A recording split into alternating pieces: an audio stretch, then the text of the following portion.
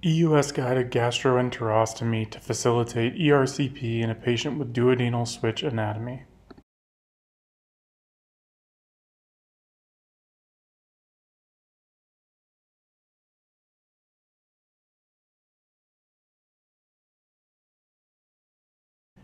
Our patient was a 70 year old female who presented with an indwelling percutaneous biliary drain, which was placed for biliary obstruction of unclear etiology. She initially presented to an outside hospital with elevated liver chemistries and right upper quadrant pain. She had a remote history of a duodenal switch performed approximately 15 years ago for the treatment of class 3 obesity. Prior distal bile duct biopsies had been obtained at an outside institution using digital single operator cholangioscopy, which was passed via the percutaneous access site. The biopsies demonstrated high grade dysplasia by report. We were unable to obtain the tissue from the outside facility for re review at our institution. A CT scan was performed at the outside hospital, which suggested biliary ductal dilation and concern for an ampullary mass.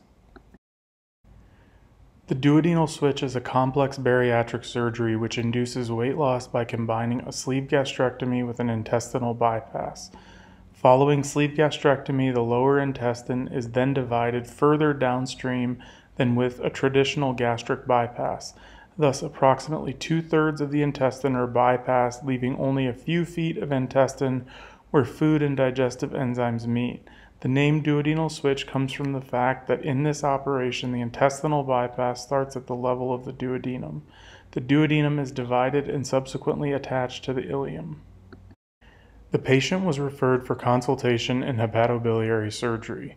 An MRCP was performed which demonstrated a possible short segment distal bile duct stricture which was inadequately addressed due to the indwelling biliary drain.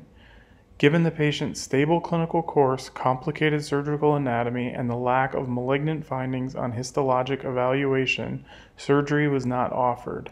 Additional endoscopic evaluation and treatment was recommended. We first elected to proceed with cholangioscopy directed biopsies of the distal bile duct using access through the percutaneous drain. We first elected to proceed with cholangioscopy-directed biopsies of the distal bile duct using access through the percutaneous drain. A long guide wire was passed through the indwelling percutaneous drain, across the ampulla, and deep into the small bowel and coiled several times.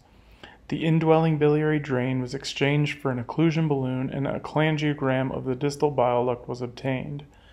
The occlusion balloon catheter was exchanged for a digital single operator cholangioscope. This was passed over the wire and into the small bowel.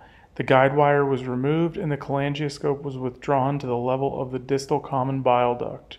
Biopsies were obtained under direct visualization. The cholangioscope was withdrawn and a new locking loop catheter was placed over the guide wire. Histologic review of the biopsy specimens demonstrated chronic inflammation but no evidence of malignancy. After a long discussion with the patient and other members of the care team, and given the ongoing concern for malignancy, it was determined that direct visualization of the ampulla was necessary. At that point, we elected to perform an EUS guided gastroenterostomy using a 15 millimeter lumen apposing stent. This was subsequently followed by a transgastric ERCP with balloon extraction and biopsy of the distal bile duct. To aid in creation of the EUS guided gastroenterostomy, we injected a combination of saline, methylene blue, and contrast using the indwelling percutaneous biliary drain. This allowed us to distend the small bowel and provide a target for EUS guided access a therapeutic channel linear array echo endoscope preloaded with a lumen apposing stent and long guide wire were advanced to the mid body of the gastric sleeve where we were easily able to identify the dilated small bowel inferiorly. Using the electrocautery enhanced tip, the catheter was advanced through the gastric and small intestinal wall and the distal flange was deployed under endosonographic and fluoroscopic guidance within the small bowel. After deployment of the distal flange, we subsequently deployed the proximal flange under endoscopic visualization within the gastric sleeve. The preloaded guide wire was advanced into the small bowel and coiled. A 7 French by 7 centimeter double pigtail plastic stent was then placed through the lumen apposing metal stent. Two weeks later, the patient returned for transgastric ERCP. The 7 French stent was removed in exchange for a therapeutic gastroscope. The gastroscope was advanced through the lumen apposing metal stent and the biliary drain was identified. The gastroscope was advanced retrograde towards the ampulla where it could be closely inspected. Biliary cannulation was achieved alongside the indwelling biliary catheter using an occlusion balloon catheter and a long guide wire. The indwelling percutaneous drain was removed through the skin site.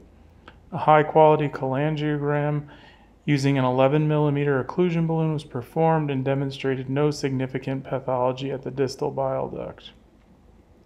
We then obtained biopsies of the distal bile duct using large capacity forceps. The indwelling percutaneous biliary drain was not replaced. The gastroscope was withdrawn and the lumen apposing metal stent was subsequently removed. The final biopsy specimens demonstrated no evidence of malignancy.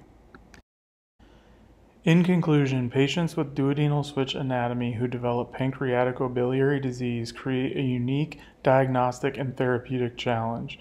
Conventional ERCP is impossible while alternative options such as laparoscopic assisted or balloon assisted ERCP are technically challenging as well. EUS guided gastroenterostomy permitted endoscopic evaluation of the ampulla and distal bile duct in a minimally invasive fashion. Therapeutic EUS can be a powerful tool in the management of patients with altered GI anatomy and pancreaticobiliary disease. EUS guided gastroenterostomy followed by transgastric ERCP in duodenal switch anatomy was technically feasible and safe in our patient.